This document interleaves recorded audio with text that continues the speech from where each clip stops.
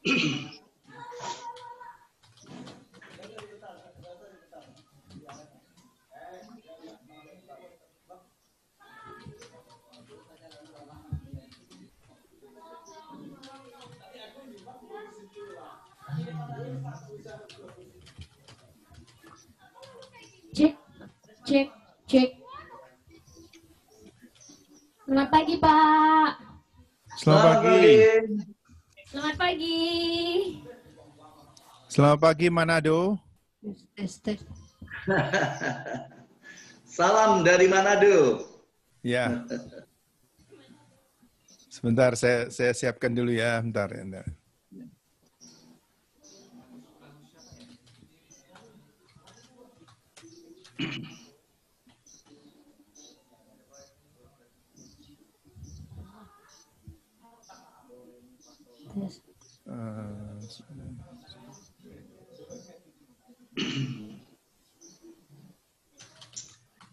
Antara di antara siswa ada yang dari Manado nggak?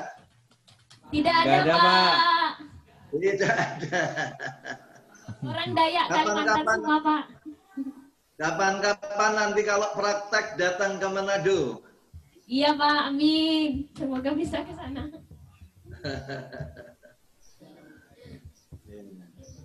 Ada sukacita pagi hari ini?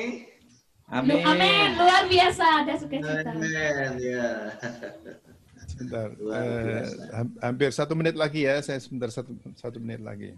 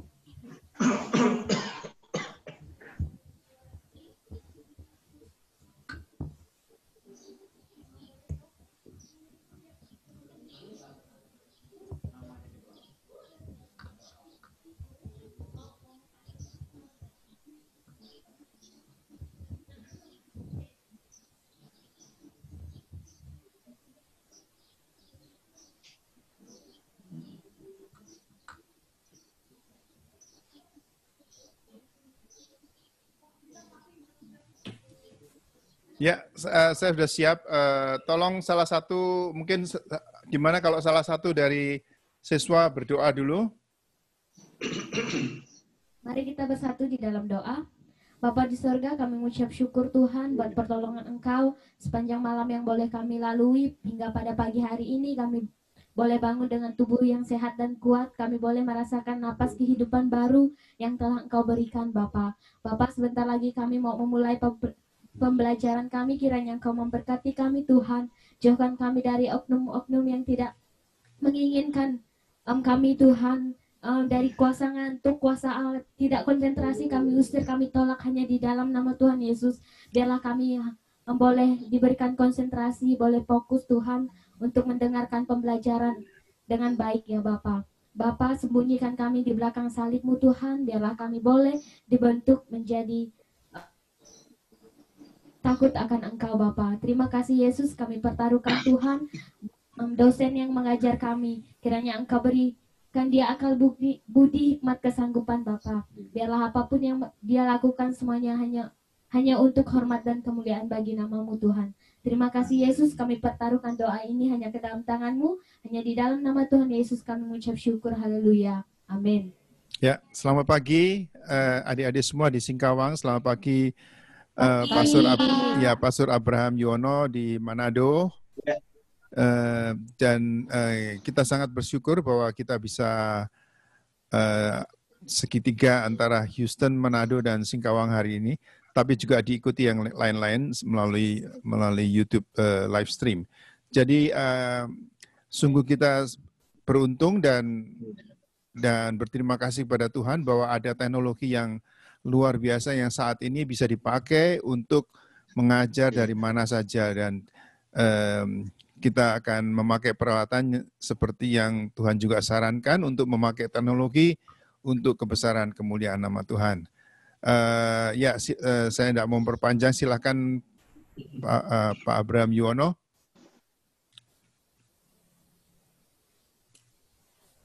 Selamat pagi, Pak uh, David Trisna. Ya. Uh, kalau di sana malam. Ya. Agak anu ya. Apa? Internetnya agak slow di tempat Pak Pak Abraham itu gimana ya? Seperti freeze begitu. Iya, Pak. Di tempat kami juga seperti itu ngelihat Pak Abraham. Iya, iya. mungkin apakah Pak Abraham bisa pakai kabel kalau bisa ya, tapi kalau tidak bisa ya udahlah di, eh, seadanya. Ini kelihatannya mungkin wifi-nya atau gimana, agak agak problem. Coba saya kontak ya.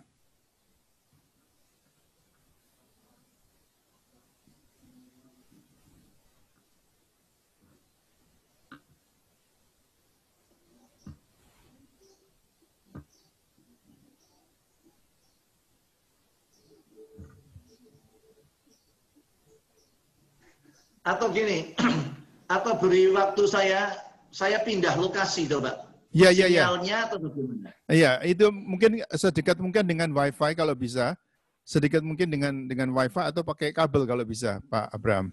Ya, silakan, silakan aja, enggak apa-apa. Mungkin keluar dulu, nanti masuk lagi gitu. Oke, oke. Ya. Ya, jadi adik-adik kita ini sungguh ya sambil menunggu Pak Abraham ya kita mencoba untuk memikirkan kembali berapa lama adik-adik sudah di sini. Jadi ada yang dari kalau kalau si AGP udah lama sih ya.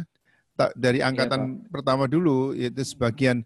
Lalu tapi adik-adik yang lain mulai dari berapa bulan Februari, bulan Pak. Februari. Nah, mulai dari yang Februari. di sini yang agak lama cuma Momong, Pesi, mm. saya sama Andri, Anton, Rani, dan Yoga, Pak. Ya, ya, ya. Sarah.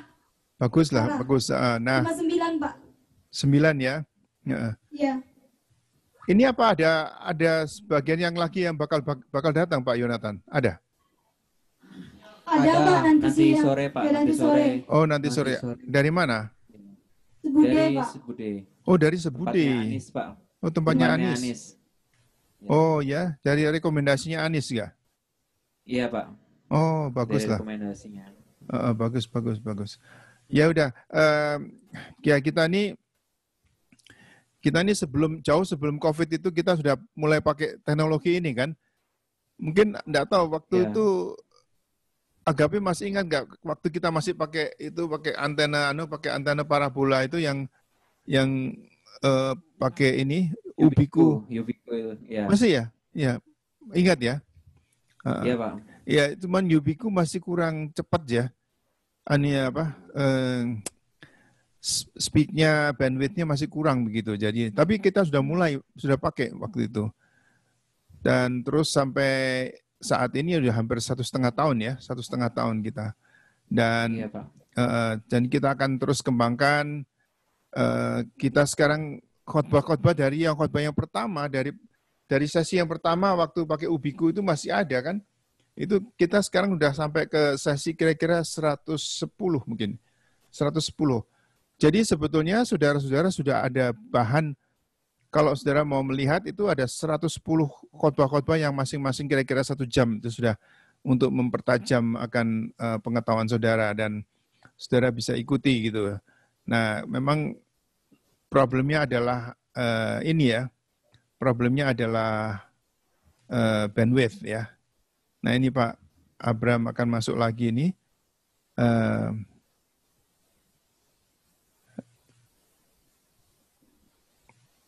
Connecting. Nah, gimana Pak, Pak Abraham? Lebih baik atau? ya, baik baik. Oh, ini di, di kamar makan ya? Di mana ini? Di kamar makan? Di ruang makan saya. Iya, iya, iya. Saya kenal nih. saya, saya kenal dengan ruangan itu. Kan uh, kalau nggak salah ada ada hiasan itu hiasan yang dari diambil dari mana? Dari Freeport, yang batu yang ada alur emasnya itu ya.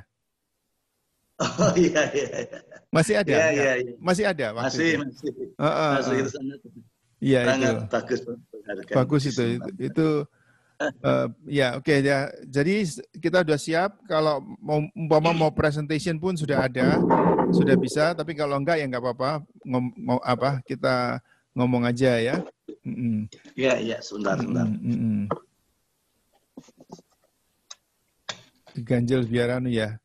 Biar duduknya Diganjel lebih. biar Ini pakai apa? pas. HP? Pakai HP atau pakai laptop? eh, pakai HP. Pakai HP ya ya ya. Enggak apa-apa. Enggak apa-apa. Oke, silakan. Hmm. Ya, selamat pagi eh, adik-adik Pagi, ya, Pak. yang ada di Pagi, Pak. Selamat pagi, Pak. Singkawan ya. Eh, kita percaya sepanjang malam Tuhan memberkati kita.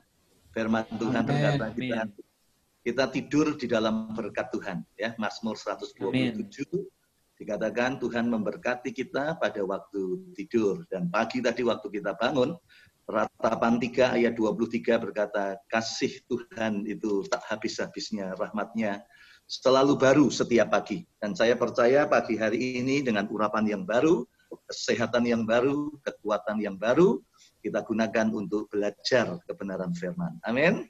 Amin. Baik ya, hari ini kita akan eh, belajar, kita mengawali, kita akan buka dahulu di dalam kitab Ayub ya. Mari kita akan membuka. Ayub pasalnya yang ke-14. Ayub pasalnya 14.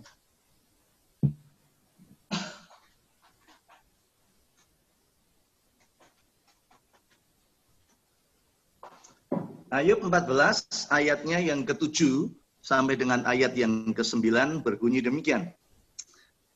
Yuk yang di di Singkawang baca yuk bersama-sama yuk. Satu, dua, tiga. Karena Karena bagi bagi pohon Pohon masih ada harapan.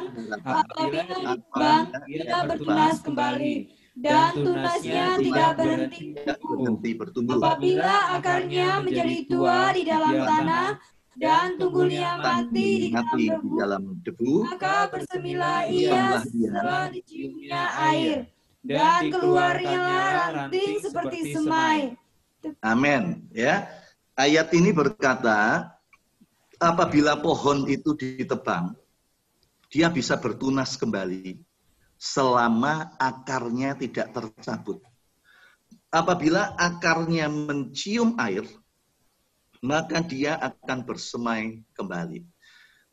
Waktu saya mempersiapkan ini, beberapa hari yang lalu, saya men- mendapat pengalaman mengaminkan ayat ini. Saya di belakang rumah, saya menebang pohon-pohon kecil, ya pohon-pohon kecil gitu, tumbuhan-tumbuhan kecil. Begitu saya tebang, seminggu kemudian saya kaget, loh muncul lagi ternyata itu Hmm. bertunas kembali.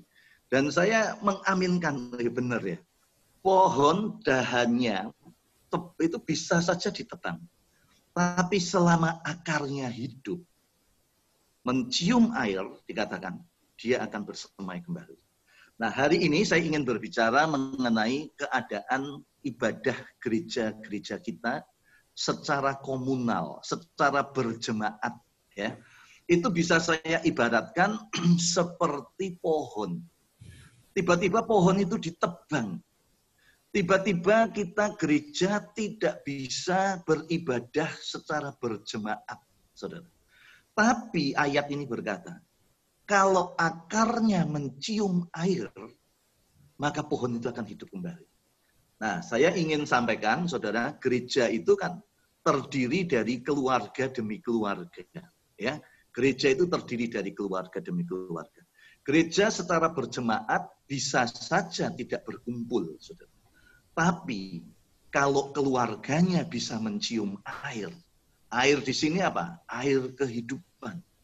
Kalau keluarga-keluarga itu bisa mencium satu hadirat Tuhan, Kalau keluarga itu mencium firman, kalau keluarga itu hidup mencium di dalam kehidupan doa yang baik, maka gereja itu akan tetap tumbuh, saudara. Nah ini penting, gereja ini penting, uh, keluarga ini penting. Ya, saya ingin hari ini menekankan tentang betapa pentingnya keluarga. Gereja ini terdiri dari keluarga. Kalau keluarganya sehat, jemaatnya akan sehat, gerejanya akan sehat. Kalau keluarga-keluarganya di situ keluarga-keluarga yang berbahagia, gerejanya akan berbahagia. Kalau keluarganya suka berdoa, gerejanya pasti suka berdoa. Kalau jemaatnya senang baca firman, pasti gereja itu hidup di dalam kebenaran firman. Itu sebabnya keluarga-keluarga ini sangat penting. Tadi di dalam ayat itu saya analogikan bahwa akar itu seperti keluarga. Ya, akar akar dari sebuah gereja, kumpulan berjemaat itu adalah keluarga. Kalau keluarganya hidup, saya yakin gerejanya akan hidup. Walaupun kita tidak beribadah bersama-sama, saudara.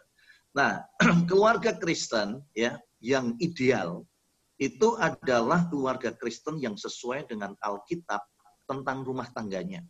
Mereka menjadi orang tua yang memiliki tanggung jawab, yaitu memiliki peran untuk mendidik anak-anak dalam mengasihi Tuhan.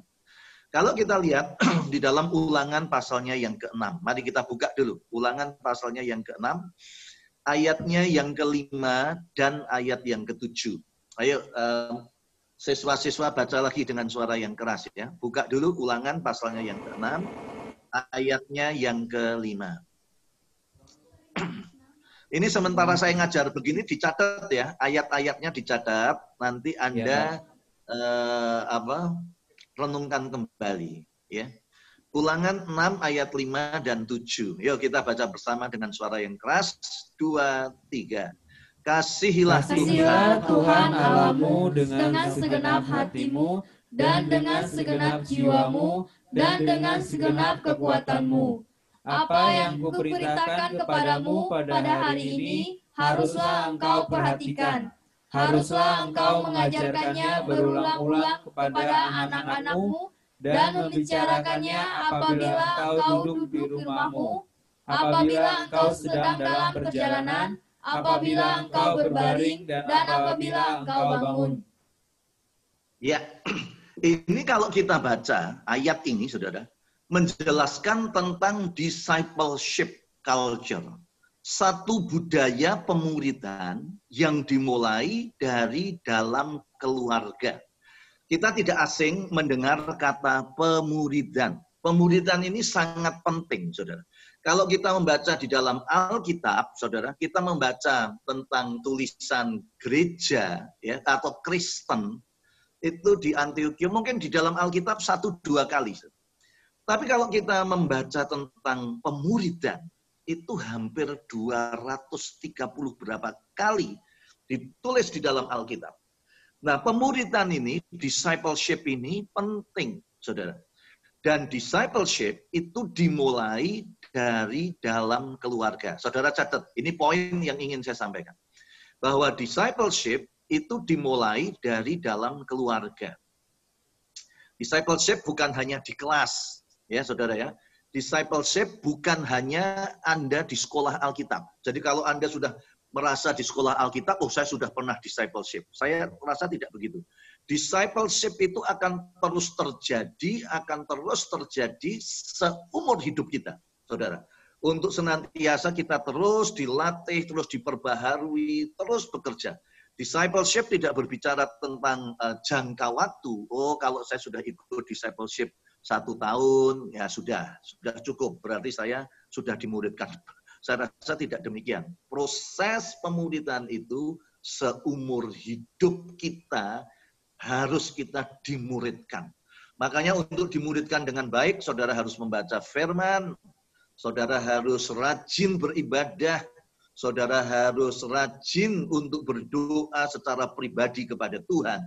Itu akan menjadi pemuridan seumur hidup kita. Nah, Kembali di sini saya katakan, pemuridan itu harus terjadi di dalam keluarga kita, saudara.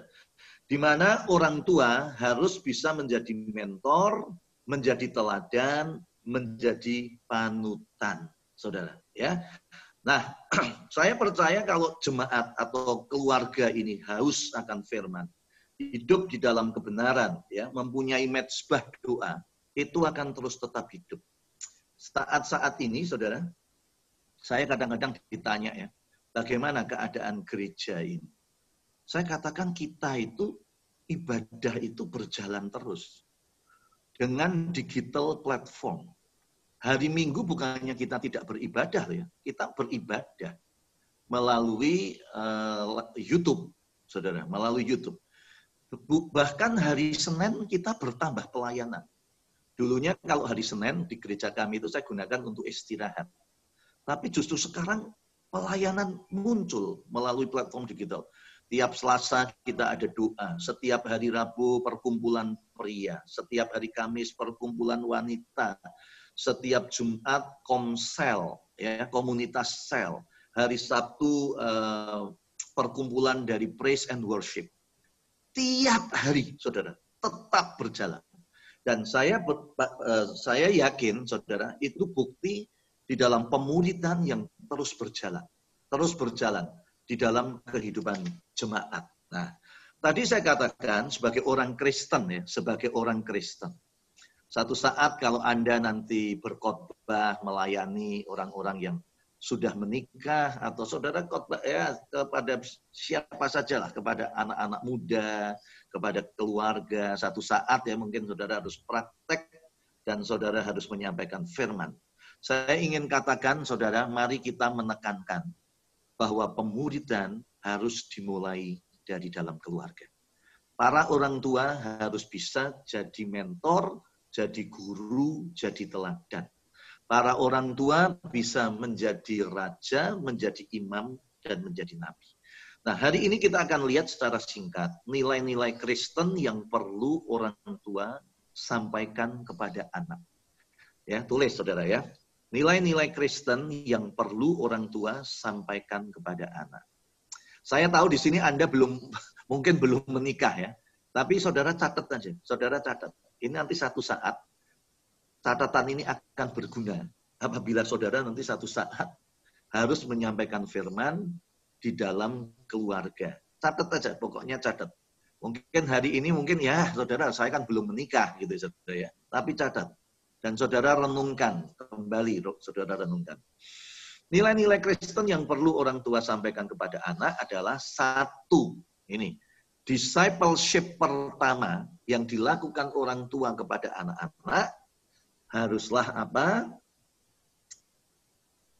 Amsal 1 ayat yang ketujuh. Tulis. uh, tadi ditulis dulu. Yang pertama ya. Orang tua perlu mengajarkan konsep takut akan Tuhan. Tulis dulu. Yang pertama. Satu. Orang tua perlu mengajarkan konsep takut akan Tuhan. Tadi kita membaca di dalam ulangan 6 ayat 7 bahwa orang tua harus mengajarkan berulang-ulang kepada anak-anakmu dan membicarakannya pada waktu engkau duduk di rumah, ya di rumah. Ingat nih saudara, duduk di rumah. Jadi discipleship pemuritan harus terjadi di rumah. Pada waktu anak-anakmu duduk, pada waktu anak-anakmu dalam perjalanan, pada waktu engkau berbaring, pada waktu engkau akan tidur, dan pada waktu engkau bangun tidur. Pengajaran pertama keluarga, discipleship terjadi di dalam rumah. Ini yang ingin saya tekankan. Pemuritan harus terjadi di dalam rumah, di mana orang tua sebagai mentor, sebagai teladan, sebagai panutan. Apa yang harus diajarkan? Yang pertama, harus diajarkan konsep takut akan Tuhan. Silakan saudara baca, buka Amsal 1 ayatnya yang ketujuh. Amsal, Amsal 1 ayat yang ketujuh. Takut akan Tuhan adalah permulaan pengetahuan, tetapi orang bodoh menghina hikmat dan didikan. Ya, takut akan Tuhan adalah apa saudara? Permulaan, Permulaan pengetahuan. pengetahuan. Nah ini ini penting. Takut akan Tuhan itu merupakan takut uh, pendidikan dimulai dari takut akan Tuhan. pendidikan harus diawali dengan rasa takut kepada Tuhan. Ketika kita tidak mampu menurunkan rasa takut akan Tuhan kepada anak-anak kita, maka pendidikan lainnya pun akan sulit diikuti. Hmm, ini ya, menungkan ya. Permulaan segala hikmat, permulaan segala pengetahuan itu adalah takut akan Tuhan. Maka dari itu para orang tua harus menanamkan rasa takut akan Tuhan itu sebagai hal yang utama. Kalau kita orang tua gagal mengajarkan takut akan Tuhan, maka pendidikan apa pun saudara, tidak akan pernah berhasil dengan baik. Mungkin Anda berkata itu, orang itu uh, tidak kenal Tuhan kok pinter gitu saudara ya. Ya, bisa. Bisa terjadi dia dia pinter gitu. Tapi kalau orang itu pinter tanpa memiliki takut akan Tuhan, itu sangat berbahaya. Kepintarannya itu bisa untuk berbuat jahat. Kepintarannya itu tidak punya moral. Kepentingannya itu bisa merugikan orang lain. Kepintarannya itu bisa membuat dirinya sebagai Tuhan dalam tanda petik, saudara kalau orang itu tidak memiliki takut akan Tuhan. Pendidikan tanpa moralitas bukanlah pendidikan yang sejati. Sekali lagi ya, pendidikan tanpa moralitas itu bukanlah pendidikan yang sejati. Kalau di dalam tadi konteks ayat tadi saya katakan, pendidikan tanpa memiliki rasa takut akan Tuhan. Pendidikan tanpa ada uh, mempunyai etik Kristen, ya moral yang baik, saudara, itu bukanlah pendidikan yang sejati. Maka dari itu pendidikan, saudara, harus dimulai dengan rasa takut akan Tuhan. Tadi kita sudah membaca ayatnya di dalam Amsal 1 ayat yang ketujuh, bahwa takut akan Tuhan adalah permulaan pengetahuan. Saudara di sini, adik-adik di sini kan lagi sekolah, sedang belajar. Maka hal yang pertama yang harus Anda miliki adalah rasa takut akan Tuhan. Ini namanya sekolah Alkitab ya saudara ya, sekolah Alkitab. Ini kita pun juga juga pernah sekolah Alkitab. Tidak jaminan orang sekolah Alkitab orang-orang yang sudah bertobat. Ya, terjadi kadang-kadang penyelewengan di sekolah Alkitab, terjadi penyimpangan di sekolah Alkitab, terjadi hal-hal yang aneh, saudara, dalam tanda petik, saudara, ya, di antara para siswa bisa terjadi, bisa terjadi moralitas, penyimpangan moralitas, itu bisa terjadi di sekolah Alkitab. Itu pengalaman saya, saudara. Dan bukan hanya pengalaman saya, saya mendengar ada banyak. Makanya kalian, kita semua, ya Anda sebagai siswa sebelum Anda itu belajar lebih banyak. Ada satu hal yang perlu ditekankan. Amsal 1 ayat 7. Milikilah rasa takut akan Tuhan. Itu permulaan pengetahuan. Waktu saudara belajar apa saja, maka harus diawali dengan takut akan Tuhan. Takut akan Tuhan itu apa? Ya, takut akan Tuhan itu kita punya potensi untuk berdosa, tapi tidak mau memilih untuk berdosa. Nah, ini ya, kita punya potensi, kita punya kesempatan untuk bisa melakukan hal-hal yang yang jahat di mata Tuhan, ya atau ya segampangnya dalam dosa gitu loh, ya. Tapi kita tidak mau melakukan, itu takut akan Tuhan. Nah, kalau kita memang tidak punya potensi, tidak punya modal, tidak punya uang, tidak punya kesempatan untuk berbuat dosa, ya memang tidak berbuat dosa. Tapi kalau kita punya uang untuk bisa berbuat dosa, kalau kita punya kesempatan untuk berbuat dosa, nggak ada yang lihat, semua guru juga tidak tahu, yang ada di asrama cuma kita berdua, ya saudara ya. Yang ada di kamar juga cuma kita berdua. Yang lain lagi weekend. Saudara punya kesempatan. Tapi saudara memilih untuk tidak melakukan itu adalah takut akan Tuhan. Saudara catat, catat ya, takut akan Tuhan, tulis. Takut akan Tuhan adalah takut akan adalah Tuhan memiliki potensi untuk berbuat dosa, tetapi memilih untuk tidak mau melakukan dosa. Nah, ini contoh ya, tulis dulu ya, tulis ya. Sudah jelas ya, sampai di sini kalian ngerti nggak apa yang saya sampaikan ini? Ngerti ya? Ngerti ya? Jadi orang itu punya potensi berbuat dosa, tapi tidak mau memilih berbuat dosa, gitu ya. Kita punya uang, kita bisa saja ke diskotik. Kita punya uang, kita bisa saja minuman keras, gitu ya. Kita uh, punya kesempatan ya untuk berbuat amoral, tapi kita tidak mau melakukan, itu karena apa? Karena kita sadar ada sepasang mata yang mengawasi kita, yaitu mata Tuhan yang mengawasi kita untuk tidak melakukan hal-hal. Karena kita itu cinta Tuhan. Karena kita itu takut akan Tuhan. Karena kita sudah diselamatkan ya dari perbuatan-perbuatan masa lalu yang buruk, yang tidak baik dan oleh kasih karunia Tuhan kita diselamatkan karena kita ini diselamatkan maka kita berbuat baik sebagai thanksgiving respon karena kita sudah diselamatkan oleh Tuhan maka kita harus berbuat baik ya. Nah itu yang pertama yang harus diajarkan. Ini sebagai contoh aja ya contoh. Satu saat saudara ada seorang tetangga ada orang kaya. Rumahnya itu di depan rumahnya ada uh, orang yang sederhana orang sederhana. Orang sederhana setiap sore dia lihat ya orang kaya ini istrinya ini orang kaya ini.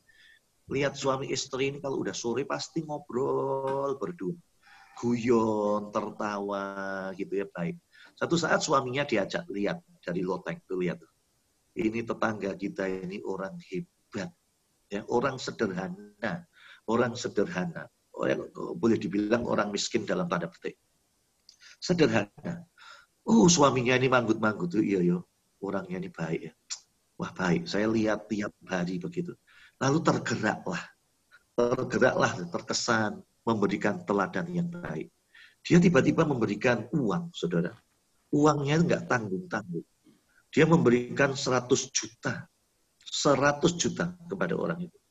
Aduh orang tua, uh, orang keluarga itu mengucap syukur ya. Aduh syukur kita ini akur dapat berkat itu saudara.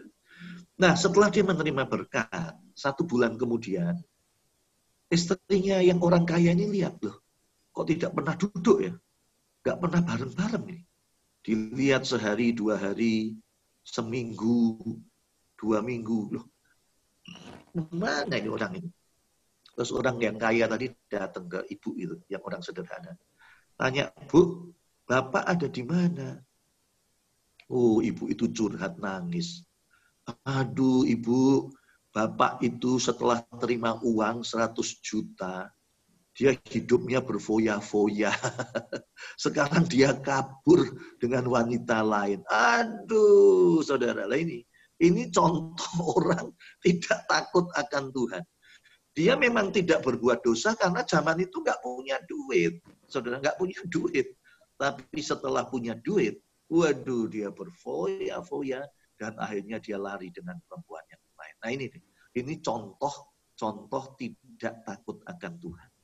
Tapi kalau orang yang takut akan Tuhan, dia punya potensi, dia punya uang, dia bisa berbuat dosa, tapi dia memilih untuk tidak berbuat dosa. Itulah takut akan Tuhan. Nah ya, camkan ini, tangkep ini kata takut akan Tuhan itu bagi kita sebagai hamba-hamba Tuhan udah familiar dan sering kita katakan, sering kita ajarkan, sering kita ucapkan. Jadi kalau ditanya, saudara, takut akan Tuhan itu apa tuh? Takut akan Tuhan itu hormat kepada Tuhan. Artinya bahwa kita punya potensi untuk berbuat dosa, tetapi kita memilih untuk tidak berbuat dosa. Ya, ajarkan, tulis, ajarkan kepada anak-anak ya untuk membaca firman setiap hari. Ajarkan para orang tua harus mengajarkan firman setiap hari kepada anak-anak. Sekarang dunia itu ada di dalam genggaman kita. Kita bisa mengingatkan anak-anak kita melalui WhatsApp ya, WhatsApp, melalui apalagi Line, media sosial. Dan orang tua tidak boleh merasa capek untuk mengingatkan anak-anak kita di dalam jalan Tuhan. Saya mau tanya nih sekarang ya kepada kepada kalian ya. Siapa yang sering mendapat SMS, WA, ditelepon oleh orang tuanya? Angkat tangan. Wah, luar biasa. Luar biasa. Coba ya sekali lagi ya. Kalau orang tuamu itu masih hidup, ya kecuali orang tuanya sudah meninggal, ya, nggak bisa telepon saudara. Kalau orang tua saudara masih hidup, yang menyekolahkan Anda, saya mau tanya, siapa yang mungkin hampir sehari, dua hari pasti memberikan WA, SMS, sekali lagi, angkat tangan. Coba, ah, puji Tuhan. Ya, Anda memiliki orang tua yang baik. Orang tua yang mengingatkan. Mungkin kadang-kadang orang tua meng, uh, memforward apa?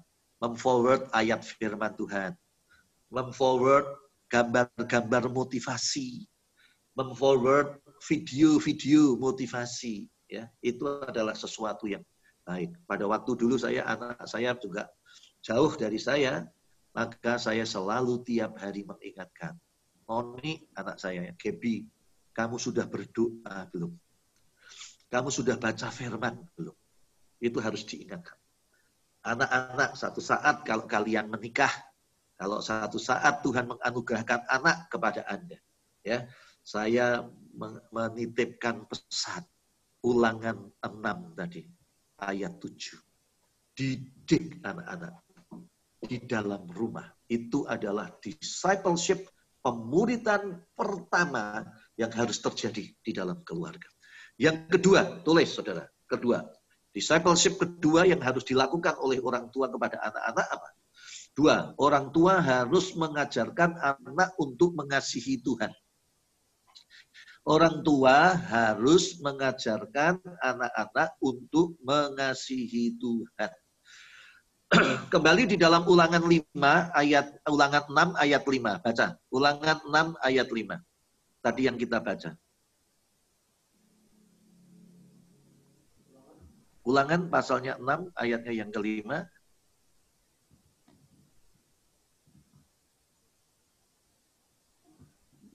Ulangan 6 ayat 5. Kasihilah Tuhan Allahmu dengan segenap hatimu dan dengan segenap jiwamu dan dengan segenap kekuatanmu. Iya. Terus ayat yang ketujuh. Ayat yang ketujuh apa dikatakan? Haruslah engkau mengajarkannya berulang-ulang kepada anak-anakmu dan membicarakannya apabila ya, engkau... Sudah. Ya oke. Okay. Jadi kasihilah Tuhan Allahmu dengan segenap hati, dengan segenap jiwa, dengan segenap kekuatan, dan itu harus diajarkan keber, kepada anak kita berulang-ulang. Yang kedua ya, pemuritan yang kedua di dalam keluarga. Orang tua harus mengajar anak-anaknya mengasihi Tuhan. Saya ingin tanya ya, hukum yang terbesar atau gini, kalau saudara bawa Alkitab itu, Alkitab itu kalau disarikan dengan satu kata, berbicara tentang apa coba? Eh, kira-kira saudara bisa jawab. Kasih, kasih. Mengasihi. Mengasihi Tuhan. Mengasihi. Betul. Setuju, saya setuju. Karena firman Tuhan berkata, hukum yang terbesar itu adalah kasih kepada Tuhan dan sesama.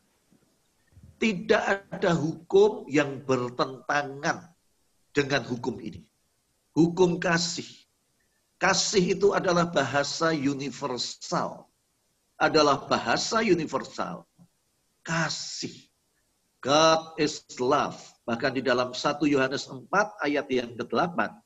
Tulis 1 Yohanes 4 ayat yang ke-8. Barang siapa tidak mengasihi, ia tidak mengenal Allah, sebab Allah adalah kasih. Kalau orang itu tidak mempunyai kasih, maka dia tidak mengenal Allah. Kasih itu ya penting, saudara. Kalau kita lihat uh, Taurat, 10 10 perintah Tuhan, 10 perintah Tuhan itu hanya bisa disimpulkan kasih kepada Tuhan dan sesama. Hukum yang pertama sampai hukum yang keempat itu adalah hormat kepada Tuhan. Mengasihi Tuhan.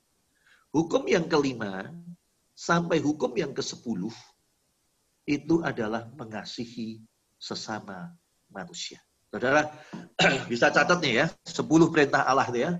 Hukum 1 sampai 4 itu berbicara mengasihi Tuhan. Ya, makanya jangan ada ilah lain ya. E, beribadahlah kepada Tuhan. Jangan berkata sia-sia. Eh? Ya, uh, tadi ya di dalam gimana? Ada yang mau tanya? Enggak ada, Pak. Apanya yang enggak ada? Maksudnya di dalam sepuluh. Oh, enggak ada yang bertanya. ya, saudara tulis ya, sepuluh hukum itu ya. Hukum yang pertama sampai dengan hukum yang keempat itu tentang cinta kasih kepada Tuhan. Hukum yang kelima sampai yang ke sepuluh itu kasih kepada sesama. Nah, ada atribut Kristen ya yang sering kita pakai itu baik sebagai anting-anting, sebagai kalung gitu ya sebagai gelang. Kira-kira apa? Atribut Kristen yang sering dipakai gelang, dipakai anting-anting, yaitu salib. Salib itu terdiri dari dua garis. Yang satu adalah garis uh, vertikal naik dan garis horizontal. Nah, dari atribut Kristen itu saja kita diingatkan bahwa inti dari Kristen itu adalah kasih vertikal kasih kepada Tuhan dan garis horizontal itu adalah kasih kepada sesama. Nah, itu sebabnya orang tua pemuridan ya yang diajarkan terus-menerus Saudara adalah kasih. Harus diajarkan dalam kehidupan kita. Tadi saya katakan ya, pemuridan itu nggak bisa saudara ikut seminar terus, oh ya saya sudah selesai pemuridan. Nah, pemuridan itu seumur hidup. Belajar takut akan Tuhan itu seumur hidup. Belajar mengasihi Tuhan itu seumur hidup. Bukan hanya di dalam kelas. Dan mengasihi, kasih itu apa, saudara? Kasih itu apa kepada sesama? 1 Korintus 13, tulis. 1 Korintus 13, ayatnya yang keempat sampai dengan ayat yang ketujuh. Tulis. 1 Korintus 13, ayat 4 sampai 7. Kasih itu sabar. Kasih itu tidak cemburu. Kasih itu murah hati. Kasih itu uh, mengendalikan diri. Kasih itu tidak senang melihat ketidakadilan. Itu nggak bisa cuma diterapkan dalam satu jam, dua jam, terus Anda punya kasih. Kasih itu harus diterapkan setiap hari. Nah, kadang-kadang ya, kadang-kadang untuk melatih kasih kita, Tuhan itu menempatkan orang-orang yang menjengkelkan kita ada di samping kita. Kadang-kadang untuk menerapkan kasih itu, Tuhan membiarkan kita untuk berdampingan dengan orang-orang yang menjengkelkan kita. Kadang-kadang kita berkata, aduh, aku ini kalau lihat orang ini ya, mendidih di hati. Nah, ada lagu tuh, mendidih di hati, mendidih di hati, mendidih di hatiku. Bukan mendidih karena roh kudus, mendidih karena kebencian. Aku kalau lihat orang ini mau aku remes saja. Aku ini kalau lihat orang ini, urapanku hilang. saudara ya. Mungkin kalau satu saat saudara belajar di sekolah, saudara praktek khotbah, saudara praktek pujian gitu ya, Terus lihat nih ada orang yang menjengkelkan. Aduh, kalau orang ini ada, urapan gue hilang. Tapi kadang-kadang Tuhan lakukan, izinkan seperti itu. Supaya Anda melatih kesabaran. Supaya Anda melatih tentang pengampunan. Supaya Anda melatih tentang kasih. Itu harus dilatih.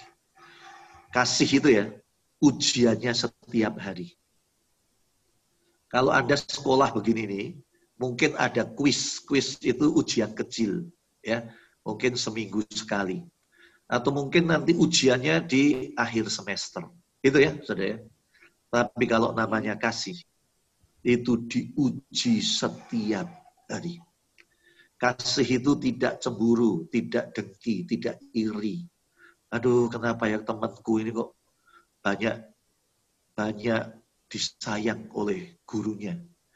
Aduh, kenapa ya orang ini kok banyak menerima berkat, ya? Itu sebetulnya Tuhan tidak tidak masalah mau memberkati saudara. Tapi Tuhan melatih. Coba kalau kamu lihat orang lain itu diberkati, bisa nggak engkau bersuka cita? Firman Tuhan berkata, mari kita menangis dengan orang yang menangis, mari kita tertawa bersuka cita dengan orang yang bersuka cita. Jangan sampai dalam hidup sehari-hari kita menangis kalau lihat orang bersuka cita. Atau kita bersuka cita kalau melihat orang menangis. Kita bersuka cita, syukur lo, syukur kamu. Nah itu itu bukan kasih. Nah, nanti direnungkan ya, direnungkan di dalam 1 Korintus 13 ayat 4. Kasih, coba direnungkan. Itu adalah inti dari pengajaran Kristen. Kasih. Kasih kepada sesama dan kasih terlebih di atas segala-galanya. Kasih kepada Tuhan. Yaitu yang pertama, kita mengasihi Tuhan dan kita mengasihi sesama. Ini yang kedua, yang harus orang tua ajarkan di dalam kehidupan anak-anak. Discipleship yang kedua di rumah yang harus dilakukan mengajarkan anak untuk mengasihi Tuhan. Yang ketiga, tulis. Yang ketiga, discipleship di rumah. Yang ketiga yang harus diajarkan, orang tua harus mengajar anak-anak untuk terus bersyukur. Tulis. Orang tua harus mengajar anak-anak untuk terus bersyukur. Ayatnya tulis saja di dalam ulangan 4. Ulangan 4 ayatnya yang ke-9. Bisa baca ulangan 4 ayat yang ke-9? Silakan.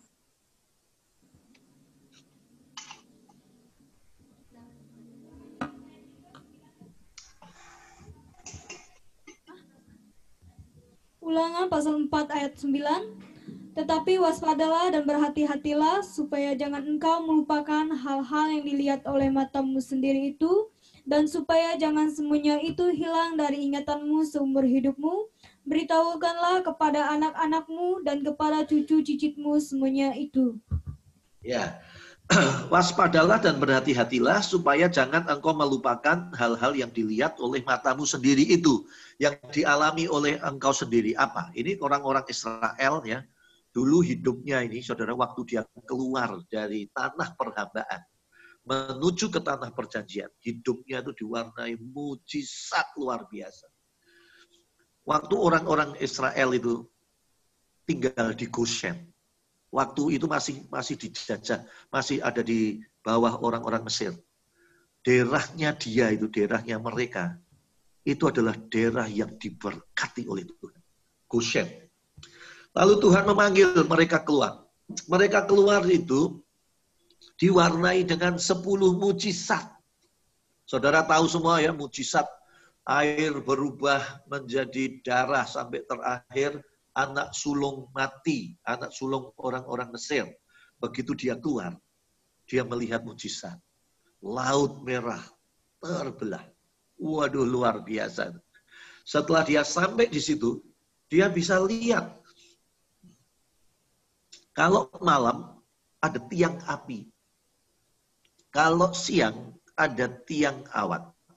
Saya percaya kalau nanti satu saat kalian bisa pergi ke Mesir ya uh, untuk berziarah ya uh, kita akan lihat akan akan lihat keganasan alam di sana di sana itu kalau malam di padang pasir dinginnya luar biasa itu kalau orang nggak kuat bisa mati karena kedinginan kalau siang itu panasnya luar biasa satu saat saya pernah tanya kepada orang-orang nomaden, orang-orang yang Mesir itu pakai jubah. Kita lihat kalau orang-orang Arab itu kan pakai jubah. Di padang pasir saya tanya, ketemu, kenapa kamu pakai jubah? Ini kan panas. Ya. Udah tuh pakai celana pendek aja, pakai kaos kan lebih enak gitu saya bilang. Dia ketawa. Pak, ini kalau kita pakai kaos, pakai anu, karena panas, manusia mengalami dehidrid, apa, dehidrasi. Ya. Kesedot ini ya apa air kita, tubuh kita. Mati katanya. Makanya kita melindungi dengan panas itu. Waduh, itu panasnya luar biasa. Bisa nggak kuat, saudara. Tapi zaman itu mau berlindung di mana? Barisan hampir satu juta orang. Maka Tuhan memberikan tiang. Kalau malam Tuhan memberikan hawa yang hangat, ya api. Mau makan, kasih roti mana. Bosan roti mana, kasih burung puyuh, kasih daging. Itu luar biasa. Lalu ayat ini berkata, harus engkau ceritakan kepada cucu-cucumu dan cicit-cicit. Untuk apa maksudnya? Untuk kita senantiasa terus bersyukur. Tuhan tidak pernah meninggalkan uh, tidak pernah meninggalkan kita barang sedetik pun. Kita lihat Tuhan tidak pernah meninggalkan kita barang sedetik pun. Kalau kita saat ini bisa ada, itu semua karena campur tangan Tuhan dalam hidup kita. Kalau sekolah ini bisa ada, sekolah ini bisa berkelanjutan, sekolah ini bisa hidup, itu karena bukti penyertaan Tuhan. Tuhan bisa menggerakkan para donatur. Tuhan bisa melakukan perkara-perkara yang luar biasa. Ya. Amin. Amin. Sehingga ya, sehingga semuanya itu Tuhan melakukan, Tuhan tidak pernah meninggalkan kita barang sedetik pun. Empat, empat hari yang lalu, ya empat hari yang lalu saya mendengar kesaksian jemaat, jemaat ini bersaksi di Komsel.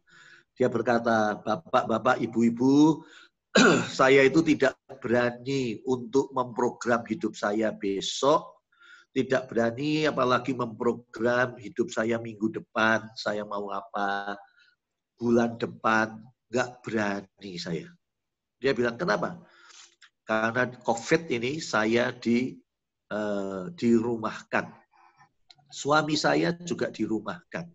Saya nggak ngerti, tidak berani bikin program, nggak ada duit. Duitnya ini habis.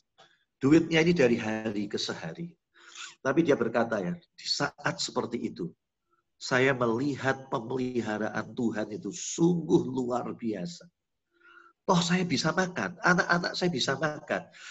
Jadi saya hanya bisa bersyukur saja kepada Tuhan bahwa Tuhan tidak pernah meninggalkan saya. Nah, semacam ini harus diajarkan kepada anak-anak kita. Anak-anak kita ini harus menjadi pribadi yang tahu mengucap syukur. Demikian juga kalian. kalian ini sebagai anak-anak, ya sebagai anak-anak dari orang tua. Mari kita belajar untuk mengucap syukur, bisa mengucap iya, syukur. Sebagai anak-anak yang bisa mengucap syukur untuk orang tuanya, ya. Terima kasih untuk iya, papi mami ya yang mengajarkan iman, yang senantiasa kalau ada berkat ngirim kepada saya, bersyukur. Itu semua karena kasih Tuhan di dalam kehidupan kita semua. Amin. Ya. Amin. Saya percaya Tuhan itu memberikan kehidupan kita berkelimpahan. Kalau saudara satu bulan, ya satu bulan saya nggak tahu ya satu ini kan hidupnya kan semua sudah ditopang, ditopang untuk hidup ini sudah ditopang oleh sekolah Alkitab. Gitu ya. Kalau saudara misalnya, misal ini ini contoh aja misal, nanti kalau satu saat ada praktek, ada mengembalakan. Kalau kebutuhan Anda satu bulan itu misalnya 2 juta. Misalnya kebutuhan Anda 2 juta. Terus Anda menerima berkat untuk jatah bulan itu 2 juta setengah. 2 juta 500. Saudara harus bersyukur saudara sudah mengalami kelimpahan 500 ribu. Tuhan memberikan kepada kita hidup berkelimpahan. Artinya hidup berkelimpahan itu hidup yang sudah memenuhi standar kebutuhan kita. Kita jangan berpikir kalau kita itu berkelimpahan terus berpikir ratusan juta. Terus berpikir bermiliar-miliar. Nah itu nanti Kristen kita jadi Kristen yang materialistis. Tapi coba kita diajar untuk mengucap syukur dalam segala hal. Kalau kita ini butuh satu juta, terus tiba-tiba ada orang memberkati kita satu juta dua ratus, Anda sudah mengalami kelimpahan dua ratus ribu lebih dari kebutuhan Anda yang sejuta. Itu akan mengembangkan rasa syukur kita, saudara, kepada Tuhan. Tuhan itu baik. Tuhan tidak pernah meninggalkan kita. Amin. Ya. Oke. Okay. Yang keempat, yang keempat, orang tua harus mengajarkan anak dengan disiplin. Ayo, orang tua harus mengajarkan anak dengan disiplin. Saudara tulis saja ya, Amsal 13 ayat 24, Amsal 13 ayat 24. Saya bacakan. Siapa tidak menggunakan tongkat benci kepada anaknya, tetapi siapa mengasihi anaknya, menghajar dia pada waktunya. Nah, orang tua mendidik anak dengan kasih, namun tidak berarti selalu membebaskan. Ya, Jangan sampai anak itu tidak pernah mendengar kata tidak boleh. Jangan sampai anak itu kok tidak pernah mendengar salah. Waduh, kalau anak ini dalam hidupnya tidak pernah mendengar tidak boleh, nanti dia di hidupnya selalu apa yang diinginkan akan diambil. Walaupun itu nanti haknya orang lain, walaupun itu nanti miliknya orang lain, saudara, dia bisa ambil. Karena apa? Tidak pernah dididik berkata untuk tidak boleh. Tidak pernah dididik, tidak tidak pernah mendengar kata jangan. Nah, harus dididik. Firman Tuhan berkata, Tuhan menghajar orang-orang yang dikasihinya. Orang berarti Tuhan itu mendidik orang-orang yang dikasihinya. Tidak hmm. selalu harus dibebaskan. Demikian juga saudara ya. Saudara di dalam asrama Saudara ada ketentuan-ketentuan yang mengajar kedisiplinan Anda. Anda tidak boleh keluar seenaknya. Anda tidak boleh pulang sebelum waktunya. Pasti ada jamnya. Saudara harus melakukan tugas mungkin mencuci piring, membersihkan tempat tidur. Ya, Saudara kalau di situ perhatikan tempat tidurmu harus bersih. Selimut harus dilipat, saudara. Ya, jangan biarkan kamar tidurmu kotor. Segala sesuatu akan dimulai dari kamar tidurmu. Kalau kamar ya, tidurmu juga tidak tidak pernah disiplin morat marit, ya nanti juga kehidupanmu juga begitu tuh nanti. Pelayananmu juga bisa begitu. Harus dimulai dari dalam rumah, dalam kamarmu. Diajar tentang kedisiplinan. Makanya guru-guru yang ada di situ mendidik Anda untuk disiplin. Nah itu adalah yang harus diajarkan dari dari dalam rumah kita kedisiplinan. Yang terakhir, saudara ya, yang terakhir lima aja ya, lima discipleship yang kelima yang harus dilakukan dari dalam rumah orang tua mendidik anak tanpa amarah. Tulis. Orang tua di dalam mendidik anak tanpa amarah. Efesus 6 ayat yang keempat. Efesus 6 ayat yang keempat. Dan kamu bapak-bapak, janganlah bangkitkan amarah di dalam hati anak-anakmu, tetapi didiklah mereka di dalam ajaran dan nasihat Tuhan. Kadang-kadang orang tua membangkitkan amarah di hati anaknya. Anaknya nggak berani balas amarah, takut kepada orang tuanya tapi anaknya marah di dalam hati. Maka dari itu orang tua tidak boleh mendidik dengan marah. Mungkin kita bisa marah, saudara ya, marah karena perbuatannya. Karena perbuatan yang menyimpang, karena perbuatan yang melanggar moralitas. Tapi kita tidak pernah benci kepada pribadi anaknya. Kita marah kepada perbuatannya. Nah, saudara perhatikan juga ya, kepada orang juga, ya saudara, mungkin saudara marah dengan perbuatannya, tapi jangan pernah menyerang pribadinya. Pribadinya perlu diajar, pribadinya perlu dididik, pribadinya perlu dinasehati oleh Tuhan. Di dalam Kolose 3 ayat 21, Hai bapak-bapak, jangan sakiti anakmu supaya jangan tawar hatinya. Kolose 3 ayat 21. Baik, ya. Ini aja yang saya ajarkan discipleship.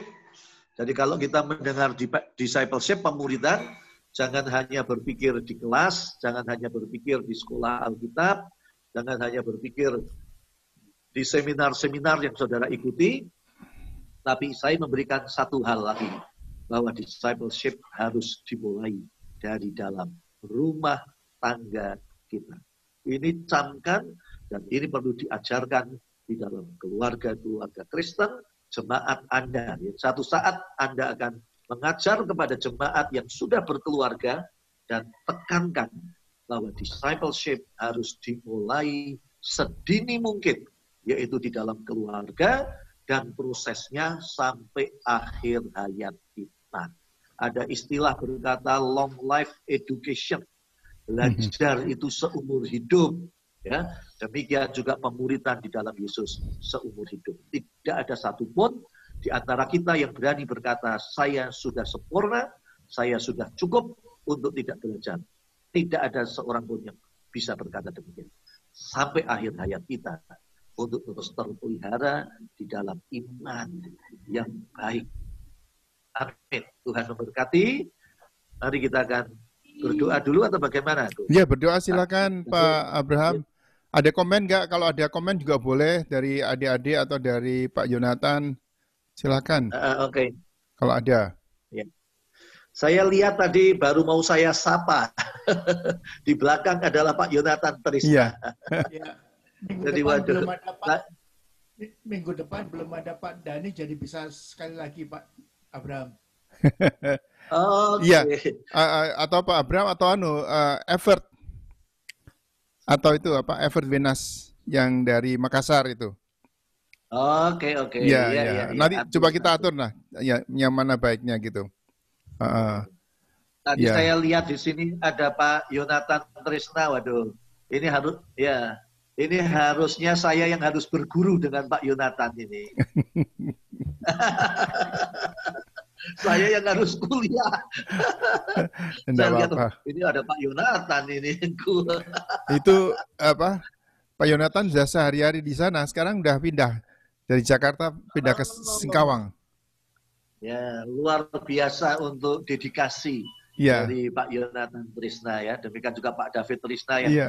mengatur secara online. Waduh, luar biasa. Eh, adik-adik, uh, ini perlu ketahui bahwa Pak Yonatan dan Pak Trisna ini adalah om saya. Iya. Iya. Manggilnya ku ya, manggilnya ku atau om. Manggilnya ku, ku itu om ya. Dulu saya masih ingat dengan Pak Yonatan Trisna di tahun 95 kita mengikuti uh, leadership training di Hawaii, di Kihei, Maui. Hmm. Ya, iya, ya, luar biasa sih ya. ya, ini perjalanan hidup kita ini, ini apa? Saya masih ingat itu kalau di tempat anu uh, Pak Abraham itu dulu kan kita mengunjungi saling mengunjungi kan itu saling mengunjungi kalau pergi ke tempat sana di Temanggung itu pagi-pagi itu sudah ada jemaat yang bawa satu tempeh gitu satu apa apa ya tempeh itu bahasa kalau bahasa anu apa di di tampah. Tampah ya satu saat itu bawa satu tampah dengan makanan gitu banyak sekali itu pagi-pagi sudah datang gitu ke jadi eh, kalau di desa atau di kota kecil itu biasa begitu. Bagi kami yang di, tinggal di Surabaya waktu itu itu suatu hal yang luar biasa saya pikir waduh ini kok jemaah itu begitu mengasihi sampai pendetanya dibawain satu tampah makanan gitu. Itu pagi-pagi udah datang. Iya ya luar biasa. Itu itu anu sampai sekarang masih masih teringat gitu. Ya, kita melayani Dalam tapi mm -mm, kita melayani Saya ya, ingat. Gimana? Saya juga ingat ke Temanggung ketemu papa mama melayani Temanggung khotbah di gereja di Temanggung. Iya, iya, iya. Iya, iya. Ini uh, luar biasa sih. Jadi kita sekarang di sini ya tiap minggu ada lima kali lima kali apa distant learning live stream gini em, dari pendeta dari Pak Abraham Yu- Yuwono saat ini Pak Yusakang lalu Pak Dani Hanafi Pak Survendi Hutomo ada Ya. Eh, ada siapa lagi? Ada eh, Christina Tan dari dari Houston. Ya, terus kita juga setiap hari Noni- Selasa. Noni juga tahu ya. Noni, ya Noni Pak itu eh, Dokter Rebecca itu Noni, ya. setiap minggu, tiap hari Senin pagi. Tiap Senin pagi Wah, eh, luar biasa. Dokter Rebecca yang yang pernah masuk di penjara karena karena bawa salah satu anak sekolah minggu dari saudara sepupu gitu. Eh, itu sampai Keluarga dekat juga itu keluarga dekat nah, Keluarga. itu. Iya. Iya Pak. Iya, iya, iya.